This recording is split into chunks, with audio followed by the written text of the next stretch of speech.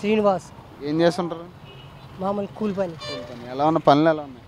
పనులు బాగానే ఉన్నాయి. ఉంటున్నాయా? డైలీ ఉంటాయా?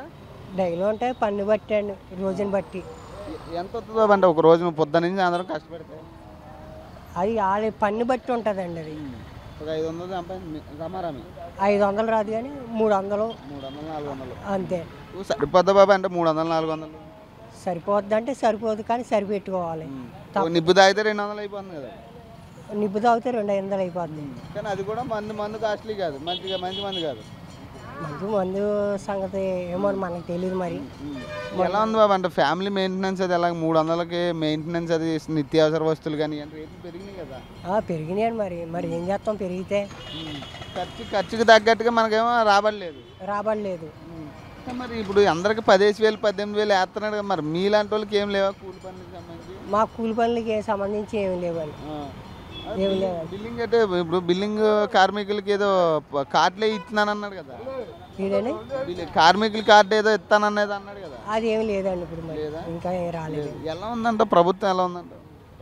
ప్రభుత్వ అంటే ఏదే ఏదైనా అంతే కదండి ఇంకా ఏదొచ్చినా. బాగుందంట బాగాలేదంట బాగానే ఉందండి. బాగానే ఉందంట. బాగానే ఉందండి. పథకాలన్నీ పర్లేదు అందుతున్నాయి. అందుతున్నాయండి అందరికి పథకాలన్నీ. వాలంటీర్లు ఎలా చేస్తున్నారు? వాలంటీర్ సచివాలయం. వాలంటీర్లు బాగానే చేస్తున్నారండి సచివాలయం.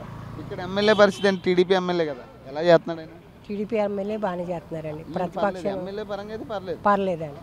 ఆయన ప్రతిపక్షం అయినా పర్లేదండి. పనులని బాగానే చేస్తారండి వస్తుంటాడు మీ దగ్గరికి? వస్తుంటారండి. వారానికి ఒకసారి అయినా మా ఇదుల్లో కాటిలో ఎలాగుందో ఏంటి అని సో చెప్తారండి.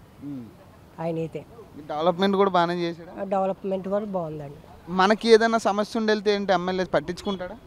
ఆ, పట్టించుకుంటారండి. వెంటనే పట్టించుకుంటారు? ఏ సమస్య ఉన్నా పట్టించుకుంటారు. మరి ఇది మరి ఇప్పుడు ఈ పథకాలన్నీ పెడుతున్నాడు కదా మరి ఇవన్నీ అమలు అవుతున్నాయి. మరి ఇది బాగుంది అంటున్నావు కదా మరి ఎమ్మెల్యే వస్తున్నాయి ఇక్కడ మరి ఇక్కడ అమలు అవుతాయి? అపోజిషన్ ఎమ్మెల్యే కదా.